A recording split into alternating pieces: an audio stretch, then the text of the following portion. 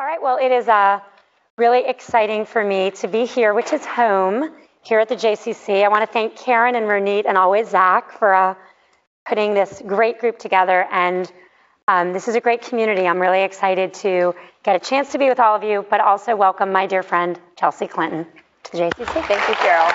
Thank you. I, I want to echo um, your thanks to the JCC and everyone who made this evening possible, um, as well as everyone uh, from the Churchill Club. And I just am so grateful that Sheryl took time out of her very busy life to talk with me about It's Your World. So thank you, Sheryl. All right, so Chelsea needs no introduction, but but I'll give you one anyway.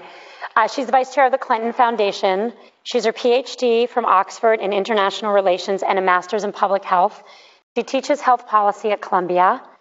Um, she's really dedicated her life to unlocking human potential. And this book, It's Your World, uh, Get Informed, Get Inspired, Get Going, is testament to that. Um, I know a lot of us, those of us who are old enough, watched her grow up. So you feel like you kind of sort of know her. I will tell you that the real Chelsea Clinton uh, is even more amazing than, than the one we all admired from afar. So I'm excited to share her with all my friends here tonight. All right, so let's start. Chelsea, you um, have a little bit going on, right? You've got the bit. Clinton Foundation, you teach, you have a daughter who just turned one. Why, why would you write a whole book and why this book? Uh, well, I kept talking to my nieces and nephews. I have 19 nieces and nephews. Yeah, wow, I know. My husband has 10 brothers and sisters, and their friends and other young people that we know. And I was just continually struck by how curious kids are about the world around us, how much more attuned and attentive I think kids are than often adults give them credit for being to what's happening in their own schools, in our communities, in our world. Um, and I also kept meeting amazing young people who were doing something about issues that they cared about, either bullying in their schools or helping to fight climate change. And I remembered a book that I had read when I was 10 or 11 called 50 Simple Things Kids Can Do to Save the Earth. And it had a profound impact on me because it treated me seriously. It didn't talk down to me. It wasn't pejorative. It treated me seriously as someone who, even though I was just a kid, deserved to know what was happening with climate change and pollution. And it empowered me with really practical suggestions of what I could do as a kid in Little Rock, Arkansas to make a difference on the issues that I really cared about. So I went looking for a book like 50 Simple Things today that I could share with my nieces and nephews and other young people to talk about what was happening in the world and what kids were doing and they then could do. And I couldn't find anything like that. So I decided to try to write that. So you divide it into three sections get informed, get inspired, and get going. I think we have a lot of young folk here who would like to get informed, get inspired, and get going. Talk us through the three sections and how you thought of framing it this way and what those mean to you. So I thought of framing it um, along get informed. So kind of what is happening with access to education around the world. You know, here in the United States, for almost a century, since 1918, every kid has had the right to a free public education. And that's not true in a lot of the world. There are many barriers to getting an education around the world. There aren't enough schools. There aren't enough teachers. The schools that are there are often really far away. In many places, it's either illegal or strongly discouraged for a girl to go to school. And so I thought it would be hopefully interesting and certainly informative for kids here to understand why there are lots of reasons that almost 100 million kids aren't in school around the world today. And then get inspired sharing stories of young people who are trying to solve some of those challenges from the United States and in countries where kids aren't in school by standing up against child marriage and helping build schools, helping ensure there are more teachers being trained and being paid to do the important work of teaching, and then get going, kind of giving practical suggestions of what kids can do, working with clubs in schools here to raise money to build a school or help support a teacher, or even just raise awareness about the fact that there are still tens of millions of kids not in school around the world. Because I think we often take for granted, all of us of all ages, that people know things that we know. And that's genuinely not true, I found. And so I think raising awareness is also something that kids are uniquely positioned to do. Adults want to listen to you. So I think that's something that any kid can do. And so there are really practical suggestions at the end of each chapter, some of which take time, some of which do take money, um, but all of which just can take a little bit of energy and can really ensure that you make a difference. I think that's a great message. Everyone here ready? Raise your voice. All the kids, raise your hand. You're going to raise your voice? Okay, good. So um, it won't shock you that I would like to start uh, with your chapter on gender equality. Uh, Chelsea has been a uh, early and great friend to me as I went down the path towards Lean In. You were one of the first people I told I was thinking of writing a book, and you was incredibly uh, supportive, which I'm still grateful for. Um, but you open with stories from your childhood, um, and they're common stories. I did an event here at the JCC about them, but uh, in teachers uh, telling you not to speak up, telling you not to raise your voice, actually letting boys do things in your classroom that you didn't let girls, told to be ladylike. Um, and you say now that you proudly call yourself a feminist, even though you don't think actions, you don't think the words matter, you think the actions matter. How do you think we help the communities understand that we still have these gender biases? How did you bring those stories to life here in your own, and what do you think we need to do about it? I think it's important um, that we recognize you know, in no country on earth do girls and women have the same rights and opportunities that men and boys do. Those barriers look different in different countries. One of the things that I have found um, kids react to most strongly now that I've been um, talking about It's Your World over the last couple of weeks um, is the fact that there are 750 million women around the world who were married before the age of 18, and that one out of nine people on earth who will be married this year will be a girl under the age of 18. And that there are states in the United States, in our country, where you can legally be married under 18, including in Massachusetts, where a girl can get married at 12 if a court and her parents Oh say my it's God. okay. I had no idea. That she herself has no agency, she herself has no say. Um, and so I think it's important when we have this conversation, particularly as it relates to young people, that we talk about the whole scope of challenges that girls face around the world, but also here in the United States. And the story that Sheryl's talking about um, really is my first memory of being aware that I was a girl. I was in first grade. Um, we were at school late because it was a PTA meeting, and my mom was at the PTA meeting in the cafeteria, and I was um, kind of in the classroom that had been given over for all the kids to play in while we waited for our parents. And this little boy was just being really nasty to me. I call him John in the book, so because I hope he's turned out to be a really lovely person now, and I don't want an enterprising reporter to track him down and say like, "Why were you a bully?" You know, 30 years ago. To Chelsea Clinton. Yeah. so, so- Good, good thinking. so, so I changed his name in the hopes that he's turned out lovely. Um, but he was not lovely almost 30 years ago. And he um, just kept harassing me and harassing me. And at one point, he pushed me down and he sat on me. And I, I asked him nicely to get off, and he just wouldn't get off. And finally, I kind of like, I shoved him off so I could stand up. And the teacher walked over to me and said, you know, that was not very ladylike behavior. And I was so taken aback, and, I, and it was such a sort of crisis, you know, for a six year old. Because I, I wanted to be polite, and I felt like I had tried to be polite, and that hadn't worked. But I also knew that I had to defend myself, and that it was never okay for someone to sit on me. I mean, I, I knew that. For example? For example. And I am so grateful that um, I knew that I could talk to my parents about that, and then I could go home and ask questions about kind of why that had happened, and what did they think, and had I done something wrong. Um, and I think that you know, we have to create safe spaces for girls to have those conversations around the world. I think that is something that is true regardless of the challenges that girls face. And those of us who have platforms, literally, like we have a platform, um, but as so many of us have platforms in our own families and schools and our work, um, have to create environments where that's never okay. Um, and I'm just so grateful that I had parents who created that environment for me and set that sort of moral compass um, because that helped protect me from when I experienced, as I went on to later experience, other examples of, of men, but also some women who were uh, kind of stigmatizing at best and at other times sort of you know, very much trying to get me to lean back, not lean in.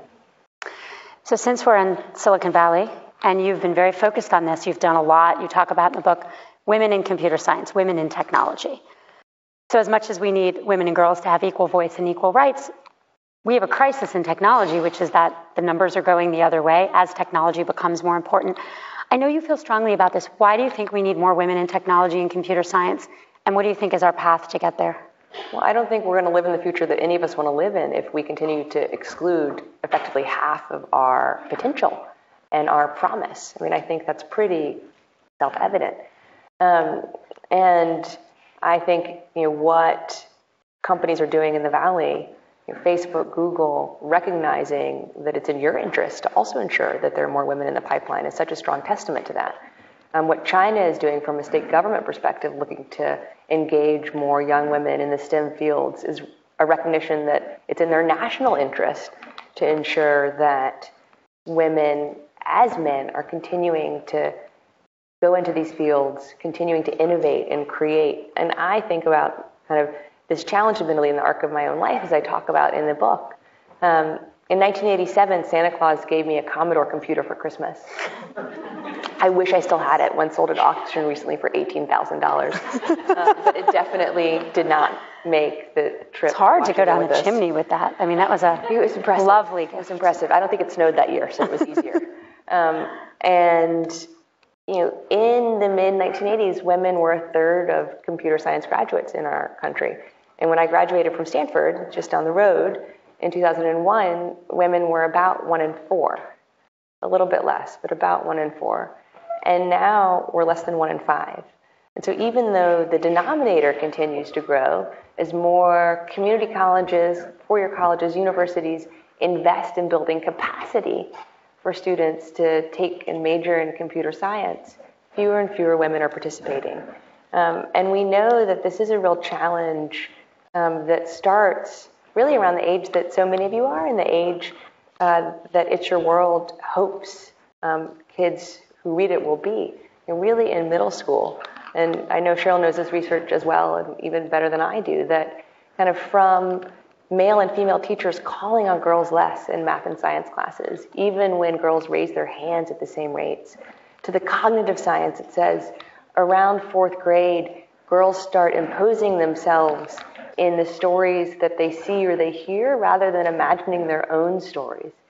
So if you're seeing yourself only kind of as a princess or only as defined as your relationship to your father or to your brother or to someone that you work for, it's hard to continue to imagine yourself as the hero of your own story or to continue to imagine yourself as a real innovator, which is what so much of technology is fundamentally about.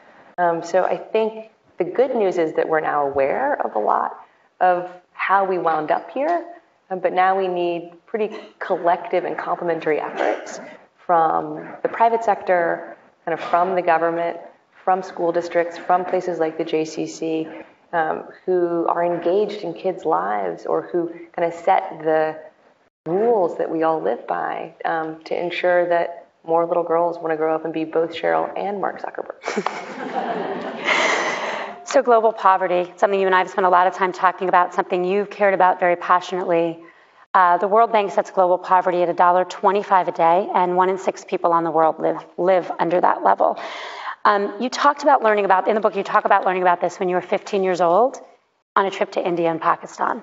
I'd love for you to share that story and share what you think kids so far away can do about people that are really at that kind of subsistence level.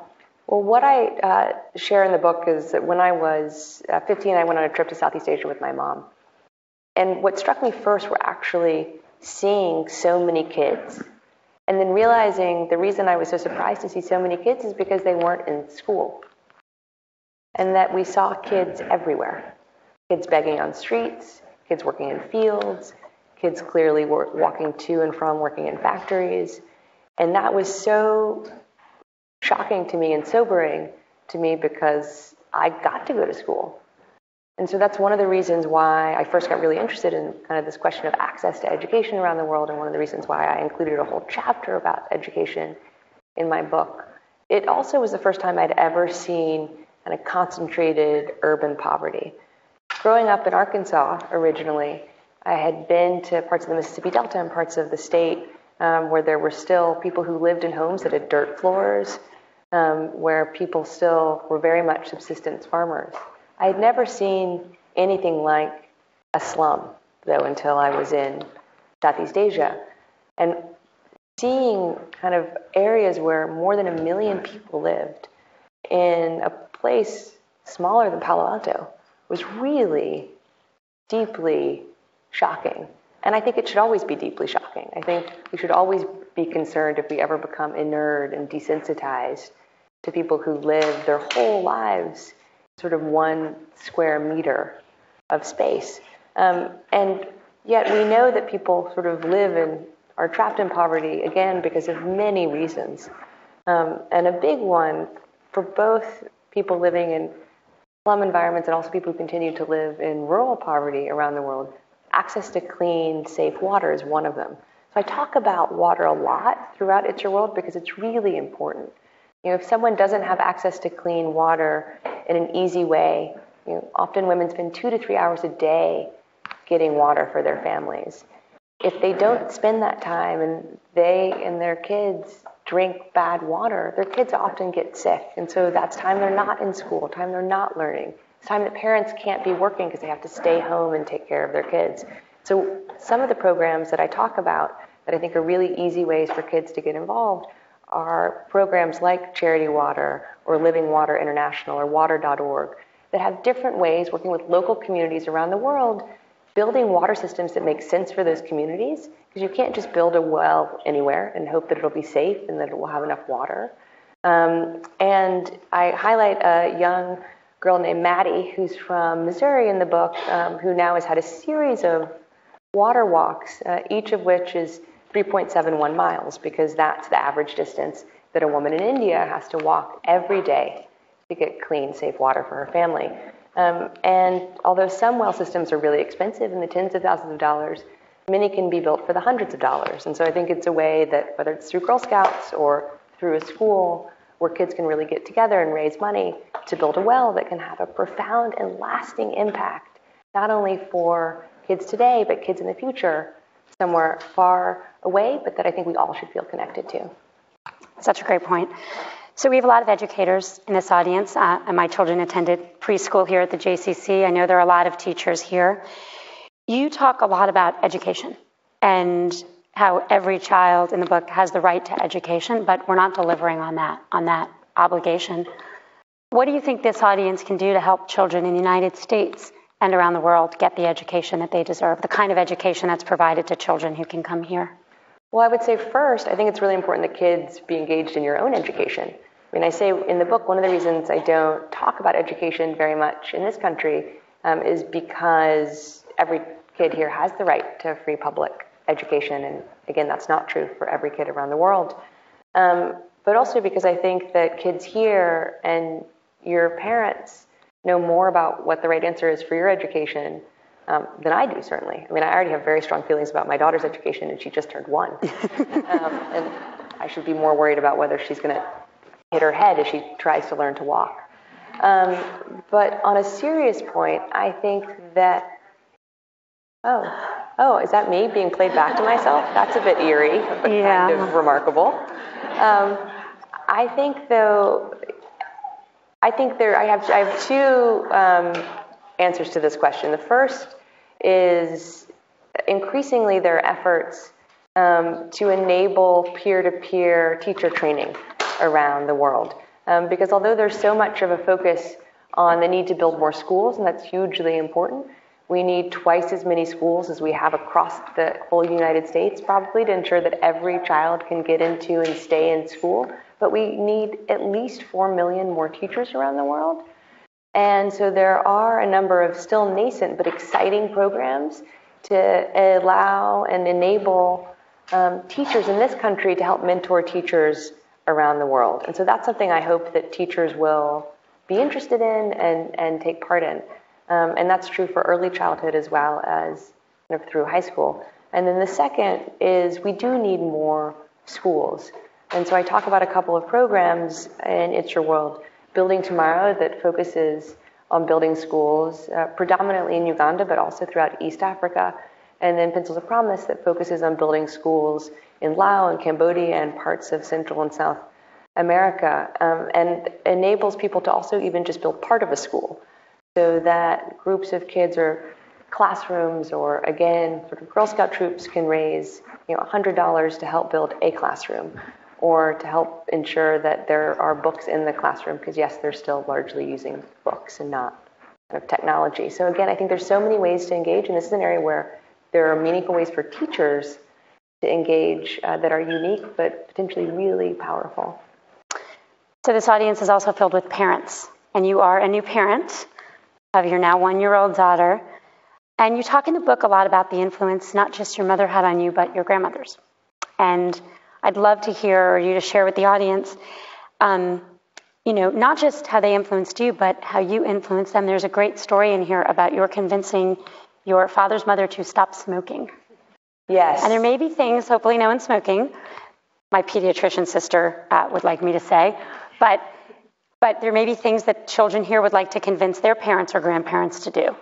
So how, how, how are you that persuasive with your parents or well, grandparents? I, so my my grandmother Ginger, who Sheryl's referring to, um, who she passed away when I was 13. So I never got to know her as an adult. Whereas my mom's mom, uh, my grandma Dorothy, passed away a few years ago, and so I was blessed to know her as a kid and then as an adult, uh, and I still miss her fiercely, and she remains a major influence in my life. Um, my grandmother Ginger um, asked me what I wanted for my eighth birthday, and I had just read um, a, the whole Ramona Quimby series by Beverly Cleary, and in one of the books, um, Ramona uh, goes on a campaign to get her father to quit smoking, and she makes these signs that say "No smoking" because she couldn't fit "No smoking" on one line. And I remembered that so so clearly as I was thinking about writing this book, and I threatened my grandmother like with an all-out campaign. Like, "I'm going to put up signs. I'm going to take away all your ashtrays." So I'd like to think that she did it because it's what I asked for for my birthday, but definitely um, the, the, threatened punitive measures may have been part of it too. Oh, because I was also like, I'm not going to come here anymore. yeah, it was, it was, it was kind of remarkable, also kind of terrifying when I think about my not quite eight-year-old self. But sure enough, she quit smoking, and it wound up being really a lot of fun because we spent so much time together to distract her from when she was smoking. So we cooked and baked together a lot so I have really wonderful memories from that time uh, because she was so determined to actually quit. And to fast forward, she was later diagnosed with um, breast cancer that uh, quickly metastasized throughout her body.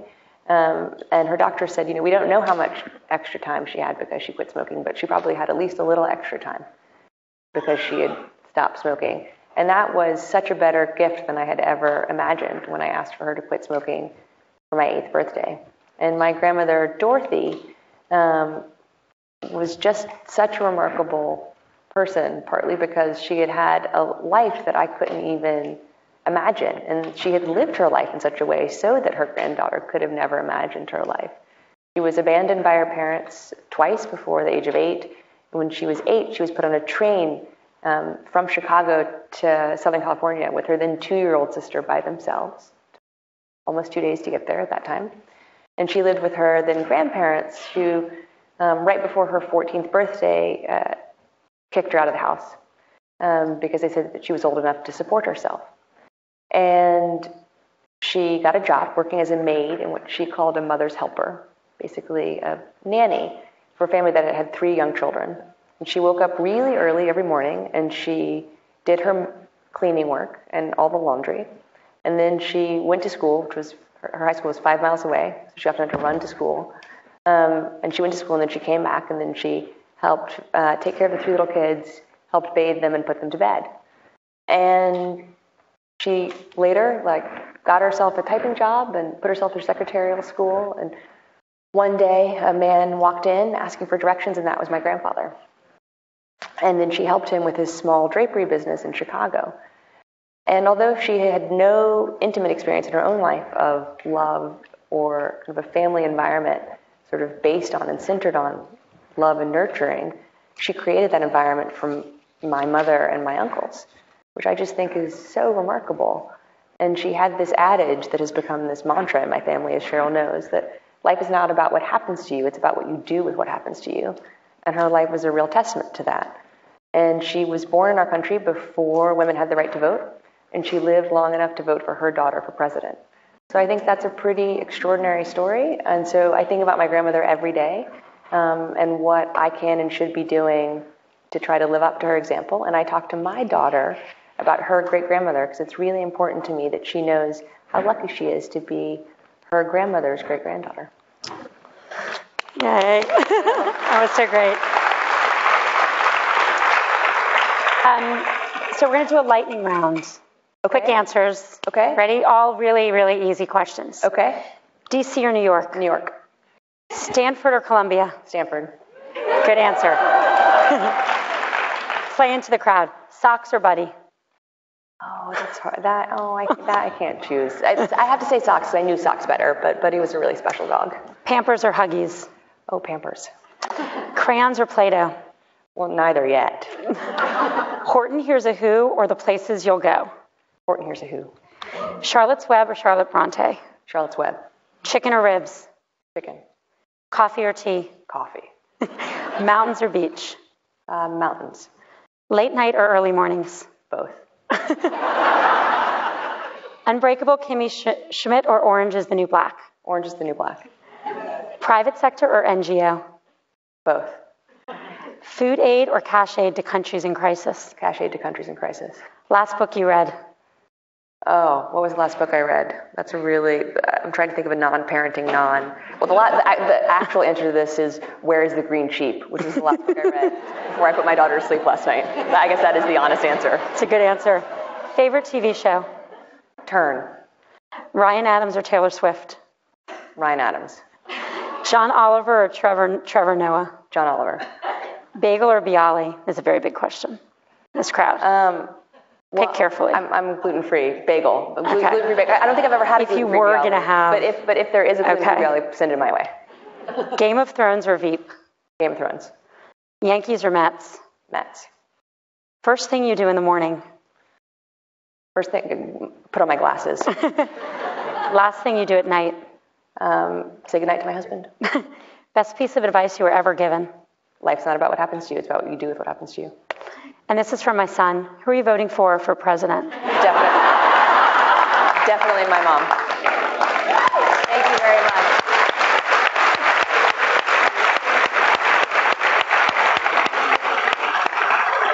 All right, we are going to uh, the remarkable Chelsea Clinton. We are going to pass the mic and take questions. And we'll request that the questions are, you know, kind of tight and kind of have questions to them. Just so everyone gets a chance.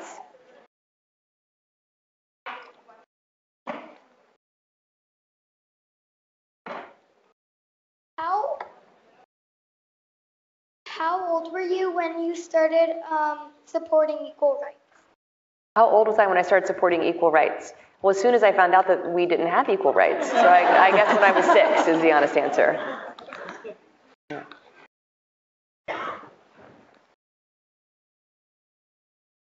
I know. Oh, oh. oh how about here and then there? Is that all right? Yeah. Maya? I know internationally schools and education are a big problem, but I know in some places in the US public schools are are not as good as they could be. So what do you think about that and what do you want to do about it? So I think that is a very real question, and I'll give you um, an example. When my mom ran for Senate in 2000, this is one of those sort of improbably true stories. She was campaigning in upstate New York, and a teacher said to her, Can I show you what my biggest challenge is? And my mom said, Well, of, of course. And she opened the science textbook that she was still using in 2000 and it said, one day we'll send a man to the moon. right, which we did in 1969. So, you Oh, wow. Yeah, oh, wow.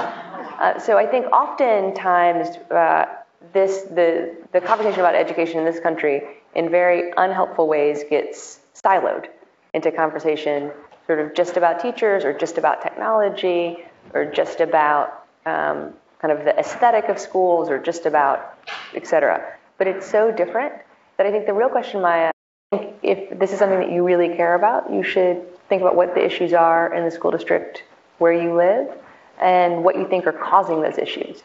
So is it that you don't think teachers are well enough trained?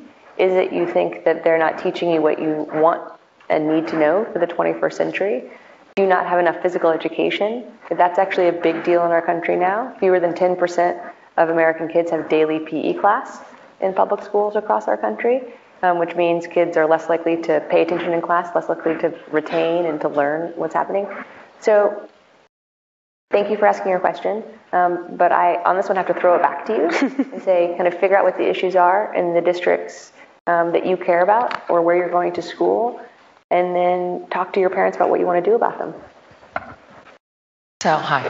Um, I just want to talk, for example, what Maya just said. It kind of shows how intelligent the kids are and how involved they are here in Silicon Valley. I can only talk because this is where I live. But um, how do you tell them? I know they've got Facebook pages for like Play for Equal Pay, right? Which was shared um, a lot, thank you, to Lean In, um, that my daughter has. What would you recommend to kids that may have Facebook pages or done GoFundMe's or whatever to kind of get more um, eyes on their causes? I think Sheryl's probably the person who could better answer that than I can, candidly. Um, so I'll defer to her, and I would be interested to hear what she has to say on this. I think um, one of the challenges, certainly when I had, was talking to the kids that I highlight in the book, and one of the things that we didn't talk about before is that um, the kids that I highlight in the book, some of them I knew before I started the book, some of them were part of the inspiration for me writing the book. Some of them I um, kind of came to know of through organizations that I really respect. I just saw my friend Cassie over there who works with Partners in Health. Some of them were kids who recommended each other. Some of them were kids who were like, you know, I know this person kind of through my social media, or I know this person because we both kind of won um, recognition from the National Girl Scouts um, on this issue. And so I think um, I, I, would say that I would look at sort of what those kids have done who have big social media presence or kind of have lots of eyes on their website. I write about um, this young woman, Haley, from Arizona, who, when she was seven, decided to become the family chef to help um, her father fight his diabetes. And she started um, then helping her friends, and then she built an online kind of kids cooking platform, and now she does all the kids' meals for Hyatt hotels. Um, and you can, she's kept all the history on her website, so that might be an interesting um, kind of look back in history of kind of how she did what she did to gain more and more traction because um, she has tens of thousands of kids looking at her website every every month for recipes. Um, but for the Facebook question, I'll be curious what Sheryl has to say. You know, it's pretty an interesting time when you think about going back even 10 years ago. If you were a kid or most adults, you couldn't publish anything to anyone, right? There was no ability to self publish or have voice. So, what Facebook does, along with the rest of social media, is gives, gives anyone access to publish. It's also pretty crowded out there, right? So, I think, you know, the best practices are pictures are really important, not just words. They really tell stories in ways people can rec- can can understand. Um, short, succinct, informative posts, and talking to your friends about it the same way we always did, but doing it with social media and in person. And I think, I mean, one of the things, and Sheryl just sparked another um, thought for me. I mean, one of the things that I worked really hard um, for with It's Your World was that it would sound like I was talking to someone right? That it would, that reading it would sound like I was having a conversation with one of my nieces or nephews um, in a way that would be accessible to kids, but also have real integrity to the issues. Um, because I think kids have a really good um, kind of monitor for what's authentic and what's not authentic. And I think that's as true sort of on the written page as it would be on a Facebook post. I think that's important too. Yeah. In the back. Yeah, there. who's the mic? I think we have a, a great. Person. Yes. Um, thank you so much for coming. Um, so, how did you decide what you wanted to be when you grow up, and what's your favorite part of the job? So, when I was, how old are you? How old? I'm 13. So, when I was your age, what's your name? Sarah. Sarah. So, when I was your age, Sarah, I wanted to be a doctor. I'd always been really interested in in medicine, in kind of what I came to understand um, as as health more broadly. Um, but as I got older and when I was at Stanford, I realized I was more interested in public health and sort of the systems um, and the, de- the determinants, whether in our environment or our healthcare system, whether in hospitals or clinics, or what doctors are taught or not taught, um, and how that related to how healthy individuals are, but how, also how healthy whole societies are. Um, so I had a real evolution from kind of being interested just in, in medicine to being interested in public health and then being interested in um, sort of the larger systems around health. Um, and my favorite part of my job is continuing to learn kind of all the amazing things that people are doing um, in public health or in this is amazing. Sorry, I've just never, I've never, I've never had an experience like this. Um, you were all here for my first beam, um, and and so my favorite, my favorite part of, of the work that I do now um, is, is is meeting like really smart, energetic people who are 13 or, or 30 or 90 who are interested in the same types of challenges I'm interested in and trying to solve them together in a way that's um, more effective and can be done more quickly and ideally m- more cheaply. We're going to have to go here. Beam, Yeah. ha- Beam has a question. Yeah, uh, we have to take that one. Hi, my name is Hamilton, uh, and I went to school in Palo Alto, and I'm in New York right now. Uh, first off, thank you so much for being here and talking with us. But uh, my question was just, uh, when you're encountered by uh, bullying or, you know, adverse treatment, how was the mature way to make it stop, but also, you know, do the right thing? Well, thank you, Hamilton, um, for your question. I think it's a really important one uh, for all of us of any age. Um, I have found, as someone who has been on the receiving end of a fair bit of bullying in my life, that I now, now thankfully can recognize that it's always about the bully. It's never about me, but it's always about the bully. And I think that's a really important place to start from. Um, I also recognize that now, as a 35 year old, I'm much more able to disentangle myself um, or, if need be, respond, hopefully gracefully, always calmly, um, to whatever I'm on the receiving end of.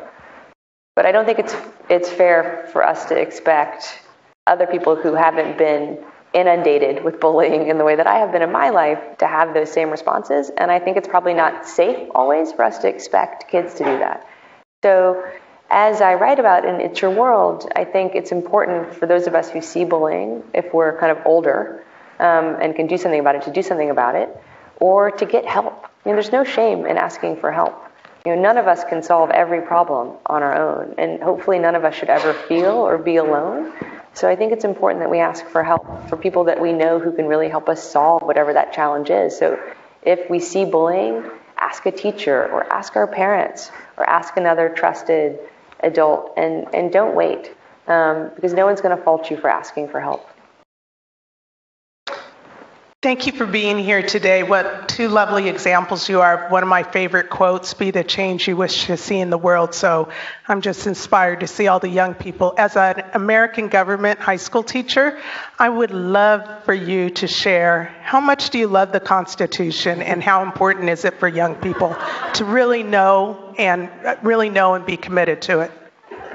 Um, well, thank you for being a teacher, and thank you for teaching American government because you are at the crux of what I kind of was was talking about earlier, um, in that I don't think often we understand enough in our country um, for adults and kids, which is what level of government do we need to try to persuade to help make a difference on an issue that we care about? I mean, I I have so many kind of um, memories as I think about this, where people would come up, up to me, um, kind of, you know, all of a couple of years ago when this was still an issue in our country, and say, like, why can't President Obama just make gay marriage legal? I'd say, well, because marriage is a state by state um, authority in our country. Right? The president can't really just make that happen. Or people would come up um, to me on. It's the great thing about riding the subway in New York City is that I. I I understand sort of what's in the zeitgeist because people come up and talk to me a lot. Or, or people would come up to me and say, you know, I really think President Obama needs to do more on recycling. I would say, like, I, I bet that he does recycle at the White House. Like, I don't know that, right? But I, I bet, I bet that he and Mrs. Obama are probably like pretty good about separating out their trash. But recycling happens at the local level. So if you really feel that way, like, you need to write. to Mayor Bloomberg at the time, um, and Speaker Clinton and Speaker of City Council. Uh, so I think what you're doing is still important. I, I think the Constitution is tremendously important. Um, I find the Second Amendment deeply troubling, um, and I wish that I could.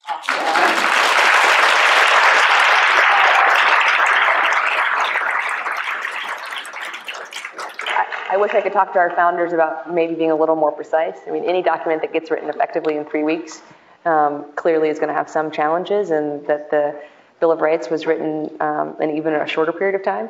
Um, Before, like semi-automatic weapons, for example. yeah, or or back before we actually had a national military. So we did rely on you know well-ordered militia.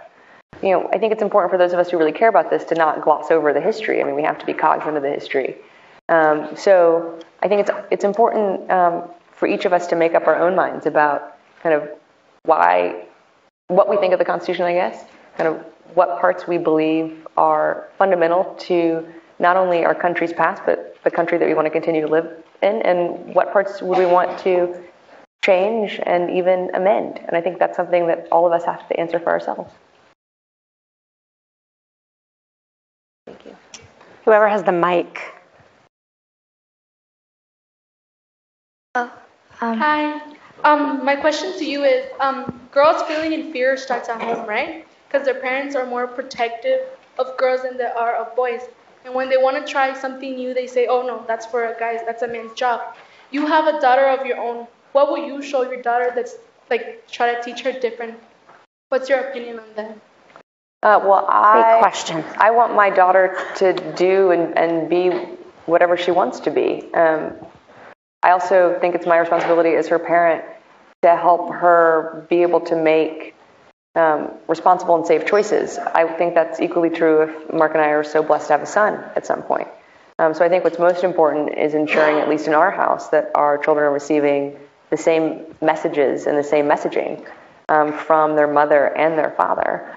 Um, and I think we just have to continue to hold ourselves accountable to that. If anything, um, we might overcorrect, not undercorrect. I, I have to. I, it has to be okay if my daughter really just like wants to grow up and only wear pink dresses. Like I, that's going to be fine. yeah. Um, hi, thank you so much for coming today. Um, so you've already accomplished so much, but where do you see yourself in 10 years?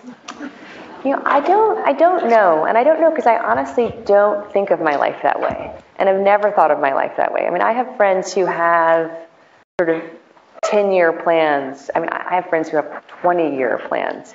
I am a real planner, um, but I plan on shorter increments of time. So I can tell you what um, Mark and I hope to accomplish for our family over the next couple of years, because very much now, being a mom, um, my daughter's the most important part of my life by far. Sheryl and I were talking earlier. I, I don't really know what I did before I became a mom. I mean, I know what I did because I can look back and like see all that I did. But you had so much free time. But I, mean, I just- just don't know. I don't. I don't All know. of a sudden. All, I just feel like everything else that I did before, while important, um, this is just a whole other universe that I know every every parent in the audience can understand. Uh, so when I look forward to the next few years, we hope to have more children. Um, I want to see how It's Your World goes. Um, I want to see uh, kind of whether or not it would make sense to do something else as a follow-up to this or not. Um, at the Clinton Foundation, I continue to be really excited about all the data-driven work we're doing around girls and women, so I want to keep doing that. Um, with the Clinton Health Access Initiative, which is our kind of major global health effort, we're doing more and more on women and girls' health. So I hope that we can say, you know, in a measurable sense, where we've helped have an impact on helping more mothers stay alive and more babies stay alive and then go on to lead healthy lives. So there are specific things that I, I want to do, um, but kind of first and foremost, I want um, my daughter to be proud to be my daughter and to know that she's loved and that she's protected and healthy and happy. And I hope that we can give her younger siblings. Um, so my question was, um, thoughts on the higher education system, specifically with everyone everyone wanting to go to a four-year college but not being able to afford it? Um, I think that's a great question. Uh, you know, after World War II, um, about eight eight percent ish of Americans went to college. You know, last year, um, more than half of Americans of college age were in some form of higher education. Uh, so if we look at changes in the last few generations, uh, we would be hard pressed after kind of thinking about everything um, related to the internet and social media to point to kind of a, a bigger shift than the entrance of many more Americans into the higher education system. And I don't, I don't know what the answer to your question is. I think we're asking those questions now because clearly people think they're not getting a return on investment for their education. Um, and I think also because there's so many more people in school now than their parents or grandparents were in school. So it's not only kind of the financial question, but I think it's also a psychological question because so many people now are having just fundamentally different experiences um, and experiences that they may or may not be able to see have greater results in higher incomes or kind of greater life satisfaction and happiness um, than their parents and grandparents did. Uh, but again, I think this is a question that each of us has to answer for ourselves, you know, and that every family has to answer for itself.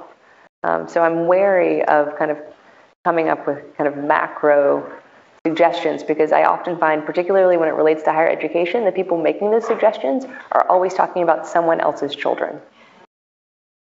So I think that there are appropriate questions to be asking um, kind of at a national and a state policy level. Um, but again, I think this is an area where every person has to make what we think are the right choices for ourselves. I think we're going to have time for about two more questions. So, yeah. So, um, you've been talking a lot about the struggles people face all over the world. How do you stay optimistic through all that? Oh, I'm very optimistic. I'm very optimistic for a couple of reasons. First, in total confession, I just don't find cynicism very useful. I mean, it's just not very productive. Like, I, no, no one ever had, no, no one ever created anything because they were a cynic. No one ever changed anything because they were a cynic. And I generally find cynicism to be kind of the preserve of people who want to protect the status quo. And I don't want to be with the people that want to protect the status quo. So I'm, I'm just, I think I'm just naturally not cynical. Um, also, I'm not cynical because for all the places in the world where we haven't made progress, there are even more places where we have made progress. So, you know, 15 years ago, there were more than 200 million kids not in school. So there are still more than 100 million kids not in school, and that's tragic. 100 million, though, is a lot less than 200 million. Um, but we now know a lot about what works. We just need to be doing more of what works around the world, and I believe that we can get there. All right, someone gets the last question. Whoever has the mic. Anyone have a mic? Um, yeah, right hi. there. Um, so we've all been informed, I think, through the education that we get, and you've just inspired all of us. But how can 15-year-old girls or any middle school or high school age students get going now? Um, I think that's a great question. I think it depends on what you care about. I mean, I think we all care about something. I mean, I said this briefly earlier. So often people ask me, well, what do you think kids should care about? And I always say we should ask kids. They will tell you what they care about. Um, so I think you have to figure out what you care most about, kind of whether that is something that makes you angry or something that inspires you or maybe both. And then figure out what you can do. Because I think all of us really can do something. So whether that's raising awareness or donating time or raising money, you can do whatever feels right to you to make a difference in whatever you care about. And I hope that my book helps you do that. So, um, as part of, I think, I was trying to think of the best way we could thank Chelsea for coming. And I think the best way we can do that is if everyone takes a minute and think about one area you care about, something you want to do. And then maybe you already have an idea of something you want to do, but if not, this book, great ideas, the end of every chapter. Um, but let's all, this is, I think, our best way of thinking. Right? Everyone take a minute, especially the kids here. Think about an area you care about. Make yourself a quiet little pledge to do something. Everyone?